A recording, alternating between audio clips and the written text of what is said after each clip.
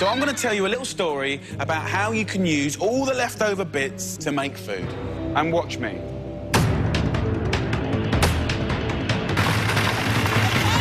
Meat and bone. Now, who would still eat this? Jamie Oliver has an interesting relationship with chicken nuggets, and it's something I find deeply fascinating because it's this weird convergence of both an extremely political rhetoric and one man's personal pride. It's a conflict that has led the man to take on chicken nuggets in some form in every show he's made, to flex over them and display superiority right down to basically lying, like in the 2011 miniseries Jamie's Dream School, where he promises a room full of troubled teens that he can teach them to make nuggets better, cheaper, and faster than frozen nuggets. And this is £1.90. It's 10 pence cheaper. I'm going to do it in half the amount of time. And this is, do you think this is better for you or that? No, all the way back in 2005 on the show Jamie's School Dinners, Jamie demonstrated the contents and production of chicken nuggets for a group of children, which is, as with a lot of food, kinda gross. These are the kids that won't eat my chicken. You know, these are the kids that want their, their, their, their nuggets back. So I want to show them what's in their fucking nuggets. Then what they do is they add more chicken skin.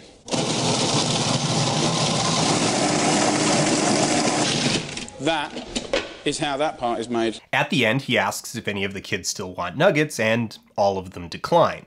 Any, anyone one of these? No, no, no. In 2010, on the show Jamie Oliver's Food Revolution, the production recreated the scenario with kids from Huntington, West Virginia, but this time when Jamie asks if they still want the nuggets after learning how they're made, all the kids say yes. Now, who would still eat this?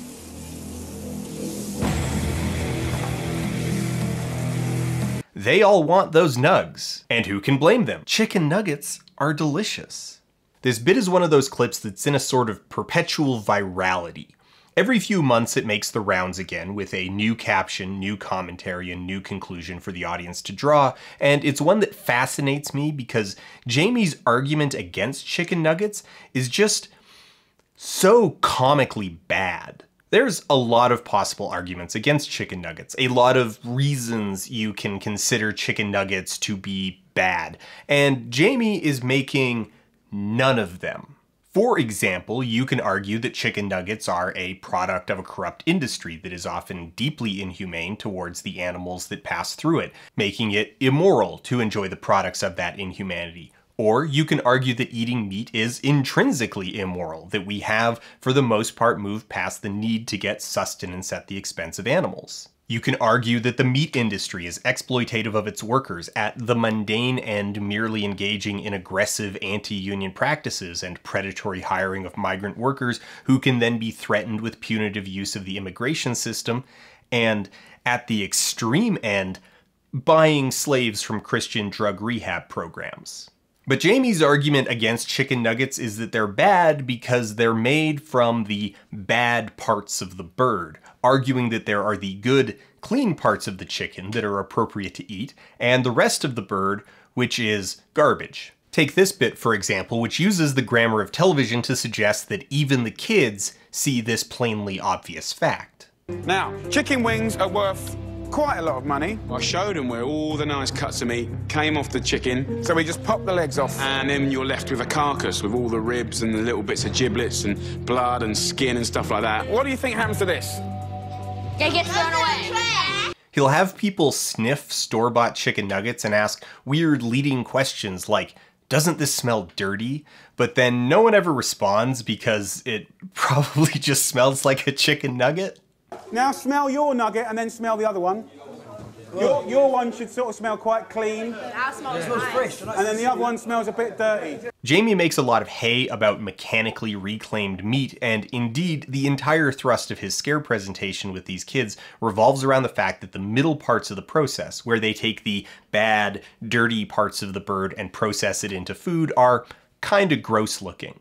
The process involves taking the parts of the carcass that aren't prime cuts of meat, parts that still have a lot of good muscle tissue attached, a lot of connective tissue and gristle, which aren't very tasty but contain collagen and elastin, which breaks down into useful amino acids, leftover skin removed from cuts that are sold skinless, organs, and bone marrow, grinding that into a paste, straining out larger solids, then using the resulting meat goo as an ingredient in food like chicken nuggets.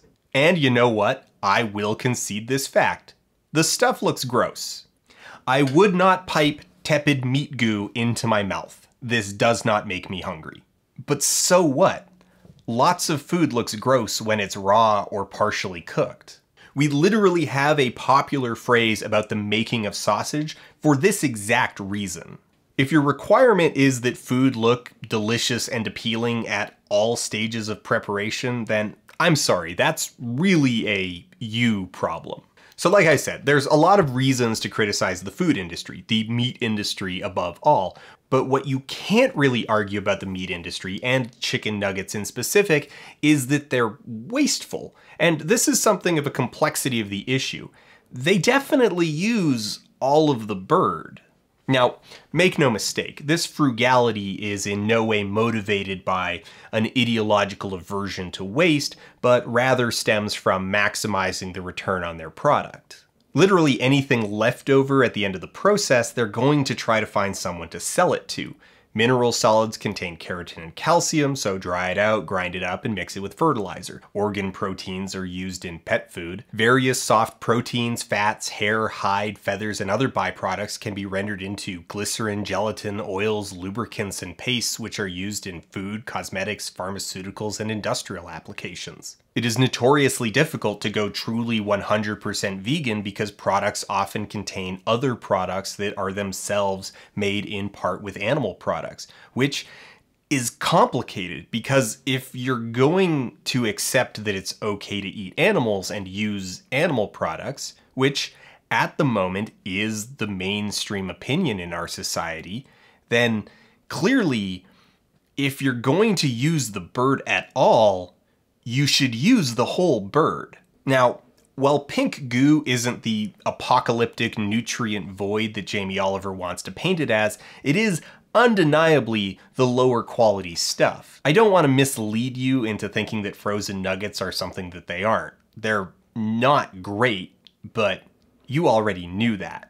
But like, it's not sawdust. It's still food.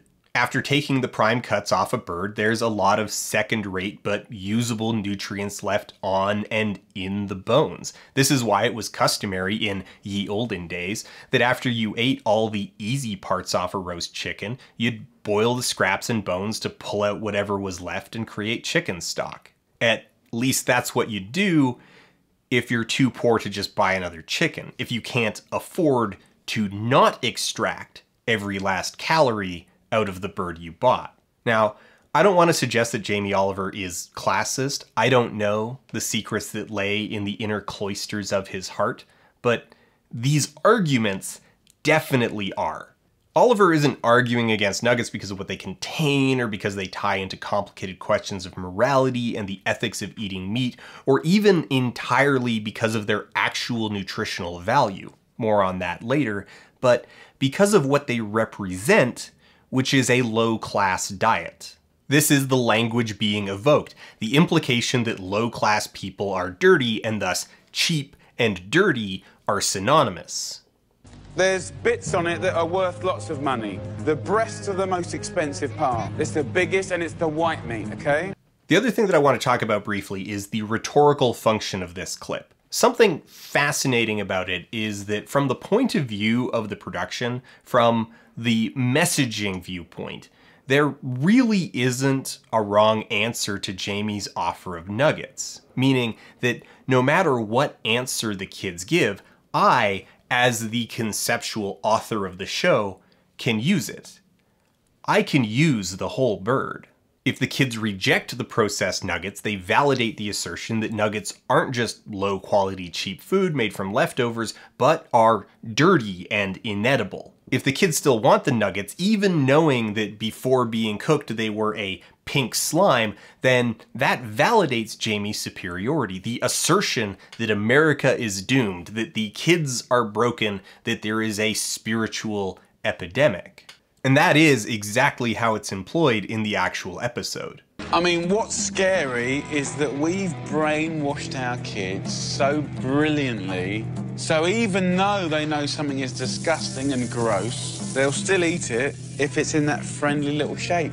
As a fascinating extension, the clip, as it makes its rounds through mimetic cycles, alternates how it's being employed based on what community it's passing through. It is shared in equal measure by people laughing at Jamie Oliver getting dunked on by some kids who want them saucy nugs, and people who agree with Jamie that this reflects a metaphysical illness in society, which is the source of the physical illness of obesity. Now, this argument is stupid, but it's also extremely popular. There is a pervasive belief in our society that poorness is a moral failing that the poor inflict on themselves, that the disastrous and growing class divides in the world are the result of a type of person who just loves chicken nuggets so much that they're not willing to stop being poor. Of course, that's all extremely wrong. The real answers are far more complex. School lunches suck because there's no money for quality ingredients. The staff are often poorly trained, if not unqualified, because there's no money for training or hiring qualified personnel. There's no money for hiring qualified personnel because of a belief that school lunch lady is a meaningless, trivial job where you slop food at children and not a position where you're expected to serve food to several hundred people in a mere 45 minutes. The logistics don't magically get easier just because the patrons aren't old enough to buy cigarettes. There's no money for quality food because there's no political will to allocate that money, and there's no political will because of all sorts of messed up priorities, including the belief that poorness is a self-inflicted problem. Why, that sounds like a vicious cycle, doesn't it? You could address this complexity, and in fairness, Jamie Oliver hasn't strictly ignored this, even as he's drafted lunch menus that would drain an entire year's budget in a month, but it's a lot easier to look at chicken nuggets as a thing that just happens to be in proximity to the problem and blame it for everything. Back to Jamie's dream school, Oliver promises that he can make nuggets cheaper, faster, and better than the store-bought nuggets, and it ends up exposing a lot of the charade. And this is £1.90. It's 10 pence cheaper. I'm going to do it in half the amount of time. And this is, do you think this is better for you or that? No, now, to a degree, he's not strictly lying. If you have a very well laid out kitchen, all the ingredients, a familiarity with the recipe, and confidence in your tools and technique, then measuring from the moment you start to when you start eating, you can probably make fried chicken strips faster than an oven can heat up a box of tenders. And the recipe he gives here, I mean, it's lightly seasoned fried chicken. Probably tastier than most nuggets as long as you make it right. And you know what? It might even cost you less by weight than the most expensive box of chicken in the grocery. More than twice as much as the cheap box, though. Just for the chicken breast, not including the other ingredients. Also, this isn't really that much healthier. It's still got plenty of salt, it's still fried in oil, but also healthy versus unhealthy is really a terrible way of conceptualizing food in the first place. This is actually a persistent problem with Oliver's version of healthy eating, which really isn't driven by actual nutritional value. He still uses a lot of sugar and salt, but is better conceptualized again as clean versus dirty. Things with lots of listed ingredients are bad, things with fewer ingredients are good regardless of what those are. Don't taste that good though. Talk out loud, loud, out loud. 3, 24, 25, 26, 27, 28, 29, 30, 31, 32, 33, 34, 35, 36, 37, 38, 39, 40, 41, 42, 40. 44. Okay. How many ingredients in there, guys? So he's not lying, but the whole exercise requires so many caveats and so much deck stacking that it is disingenuous. It's just an extension of the argument that poorness is the result of things like food choices, rather than food choices being largely dictated by being poor. I mean, one, you're probably not buying the $16 box, you're buying the $7 box. And you're not coming home and heating up $2 worth of mechanically reclaimed chicken strips because everything else in your life is going great. The biggest hole in all of it, of course, is the issue of time. With the stacked deck, the linear time is about comparable, but what's not comparable at all is the actual amount of work. I mean, it it's so self-evident that I, I feel insane even pointing it out. Jamie's fried chicken bites are good, but you spend the entire time making fried chicken. Plus, it generates a huge amount of mess that you will then need to clean up. Food prep is extremely time and energy intensive, and it's maddening that so much of the hay about healthy eating relies on pretending that it's not.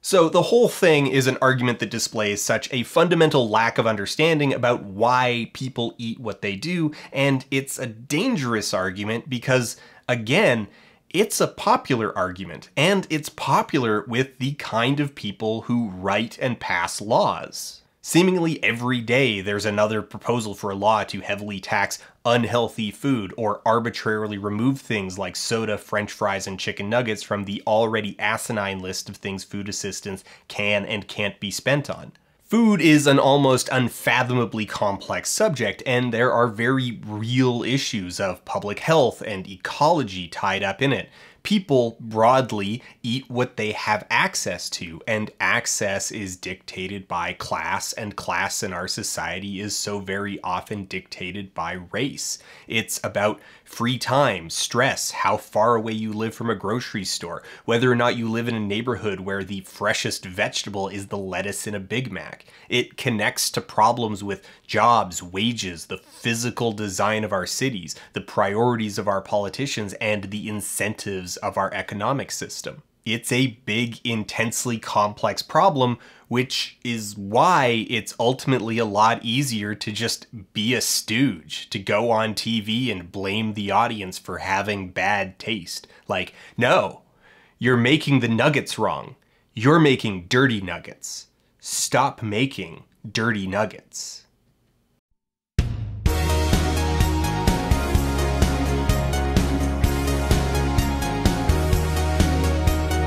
Sucking on my tendons like you wanted me.